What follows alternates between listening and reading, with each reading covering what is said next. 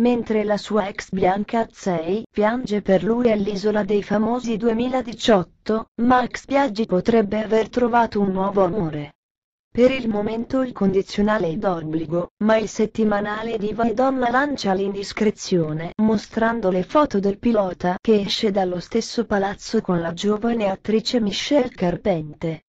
Non è la prima volta che si parla di nuove storie per Biaggi dopo la rottura con la Zei. Solo un mese fa era uscito lo scoop di una presunta liaison con una modella americana.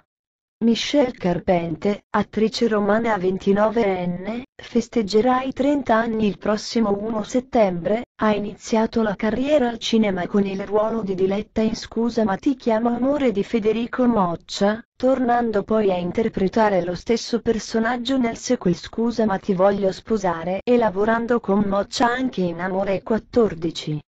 Ha inoltre recitato in L'ultima estate di Eleonora Giorgi, in Coca Pop di Pasquale Puzzessere, per cui ha ricevuto il premio Etruria Cinema Attrice e il premio Ombra della Sera Franco Cristaldi, e nelle fiction Il peccato e la vergogna 2 è Lauretta l'onore e il rispetto un ultimo capitolo nel ruolo di Emanuela, e i medici e anche conduttrice televisiva, in Cloud su Coming Soon Television, e in Bel 10 la sfida su Boeing, nel 2017. Risulta che Michelle si è sposata nel 2013 ed è mamma del piccolo Daniele dal 2015. Non c'è però traccia di un compagno al suo fianco sui social negli ultimi mesi. L'attrice pubblica invece diverse foto insieme al suo bellissimo bambino. Intanto, nella terza puntata dell'Isola dei Famosi 2018, Bianca Azzei ha ricordato la fine del grande amore con Max Biaggi, piangendo in diretta. Cerco di essere forte ma faccio fatica, ha ammesso la cantante, spiegando di non provare alcun risentimento nei confronti dell'ex. Io gli voglio un bene immenso, mi ha dato tantissimo, mi ha fatto credere in un amore vero.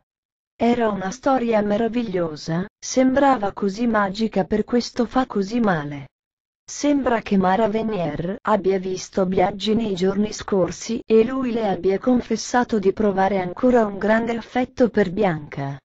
Il pilota l'aveva lasciata alcuni mesi dopo il grave incidente, spiegando di volersi dedicare soprattutto ai suoi figli. Chi se ne frega.